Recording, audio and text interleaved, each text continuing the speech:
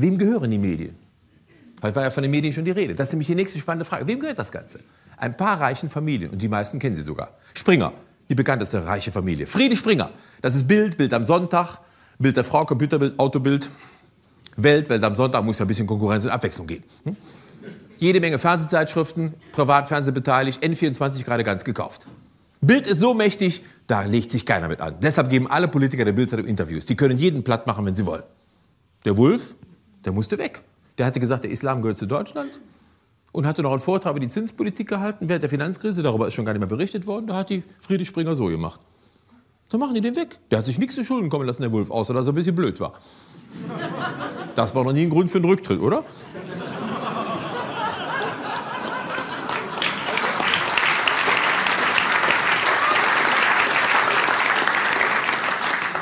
Die zweite mächtige Familie, die Sie kennen, ist die Familie Mohn. Die sitzt in Gütersloh. Da steckt das mit der Betäubung der Bevölkerung schon im Namen. Bertelsmann sagt Ihnen mehr. Das ist ein Familienbetrieb, der heißt Bertelsmann gehört der Familie Mohn. Liz Mohn steht an der Spitze.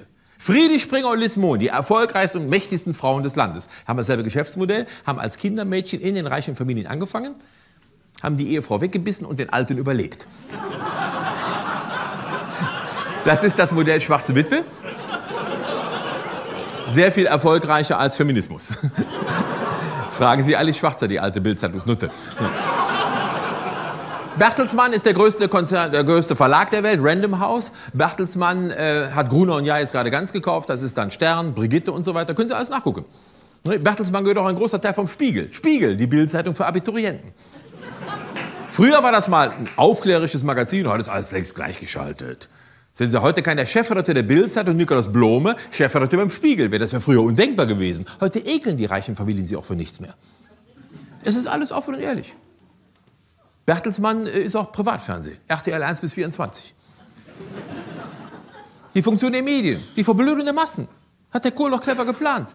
Privatfernsehen hat er eingeführt, der Kohl wusste, das Volk braucht Brot und Spiele. Je trockener das Brot wird, desto lustiger müssen die Spiele werden.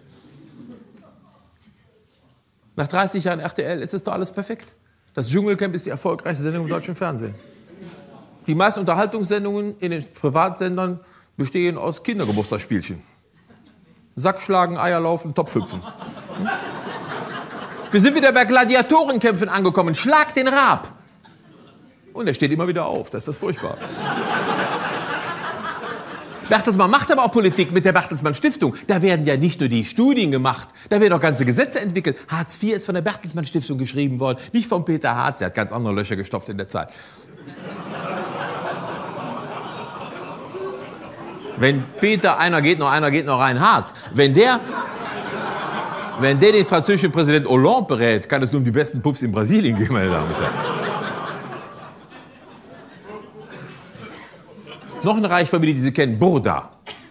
Burda, das ist dann, das ist Boulevard. Man sagt auch Gosse, Gala, bunte Frau und Kind, killen Hühn, womit sie sie ihr Resthirn einwickeln. Fokus, Fokus ist auch Burda. Das ist, das ist jetzt Spiegel für Hirnamputierte. So eine Art journalistisches Endlager. Sie müssen mal nachgucken. In Hannover regiert die Familie Mattsack. Der gehören alle Zeiten nach Hannover, in Niedersachsen bis nach Rostock hin. In Köln können Sie keine Zeitung lesen, die nicht Neven Dumont gehört. Können Sie nicht lesen. Gibt es keine. Das sind Monopole. Am ganzen Niederrhein ist die Rheinische Post, sind vier reiche Familien. Auch die Süddeutsche Zeitung gehört inzwischen einer reichen Familie aus Ludwigshafen, der Familie Schaub. Auf die bin ich gestoßen, als ich in Chemnitz geguckt habe, wem die Zeitung da gehört. Ich denke, Ludwigshafen, Schaub, Chemnitzer Freie Presse, wie kommen die denn zusammen? Chemnitzer Freie Presse war die Zeitung mit den meisten Abonnentenzahlen der alten DDR. Die hat der Kohl der Familie Schaub an der Treuhand vorbei zugeschüstert nach der Wende. Ludwigshafen, Oggersheim, muss ein Zufall sein, ist eine Verschwörungstheorie. Wir wissen bis heute nicht, wer die Spender wirklich waren. Der Kohl hält dicht, zumindest an der Stelle. Im ganzen Ruhrgebiet herrscht die Familie Funke, Funke Medien. Früher war es die Watz-Gruppe. Jetzt ist es eine Familie, Funke Medien. Und diese reichen Familien, meine Damen und Herren, die brauchen keinen Schießbefehl, die brauchen keine Mauer, die brauchen keine Stasi. Die haben den Stachel da durch die Köpfe der Menschen gezogen. Wenn Sie 40 Jahre lang den Wirtschaftsteil solcher Zeitungen gelesen haben, dann ist auch zu spät. Das habe ich inzwischen begriffen. Ich sehe es den Menschen jeden Abend an. Ich kann doch gar nicht recht haben. Sonst müssen Sie ja zugeben, dass sich 40 Jahre lang für blöd verkaufen lassen und dafür noch Geld bezahlt haben. Beschäftigung durch Wachstum, kapitalgedeckte Altersversorgung. Mein Lieblingssatz ist, Soziales, was Arbeit schafft. Da würde kein Mensch widersprechen. Ich würde sagen, Herr Pofalla, wenn ich Ihnen Ihre Hackfressen mit einem Baseballschläger zertrümmer, schafft das im Krankenhaus jede Menge Arbeit.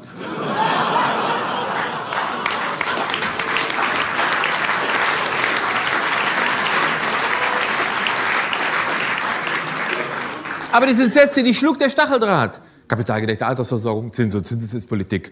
Die Griechen müssen wettbewerbsfähig werden, damit sie uns die Arbeitsplätze wegnehmen. Perfektes System. Und in diesem System, meine Damen und Herren, wo Politik gemacht wird für die reichen 10 Prozent und die reichen Familien die Medien kontrollieren, in diesem Land ist die Merkel die ideale Kanzlerin. Weil die wird den Reichen selber nicht gefährlich. Die Merkel hat selber keine finanziellen Interessen, das glaube ich wirklich. Aber die interessiert sich überhaupt nicht für Politik. Die ist einfach gerne Kanzlerin. Warum, weiß ich auch nicht. Wahrscheinlich aus demselben Grund, aus dem Till Schweiger gerne Schauspieler wäre. Dankeschön.